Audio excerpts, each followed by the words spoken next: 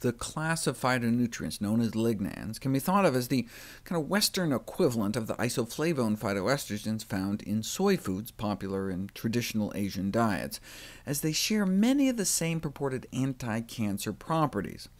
Since, as we've explored, soy food consumption is associated with both preventing breast cancer and prolonging breast cancer survival, one might expect the same to be found for lignans. Well, we just covered the prevention angle, with population-based evidence, in vitro evidence, and clinical evidence supporting lignans in preventing breast cancer. But what about for women already diagnosed with the dreaded disease? Three studies followed a total of thousands of women diagnosed with breast cancer, uh, were recently published to answer that question. The first was from New York, uh, reporting substantially reduced risks of overall mortality, and especially breast cancer mortality, associated with higher lignan intakes in postmenopausal women.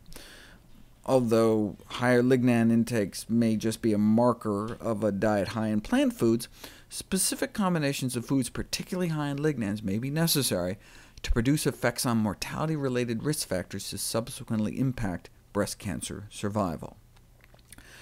Then there was one out of Italy in 2012, at surgery, when the women were getting their primary breast tumors removed.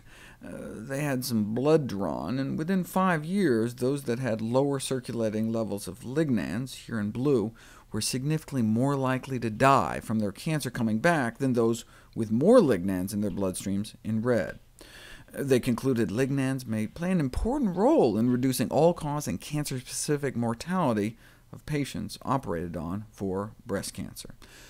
And same thing out of Germany. The largest study done to date, postmenopausal patients with breast cancer who have high serum lignan levels may have better survival.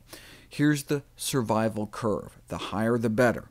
Those who had the most lignans in their bodies tended to live the longest and tended to live the longest disease-free.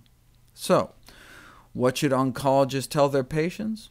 Well, given this objective evidence that blood levels of lignans, a biomarker of lignan intake, improves breast cancer outcomes, should we declare success and recommend that our patients with breast cancer supplement their diet with flaxseed?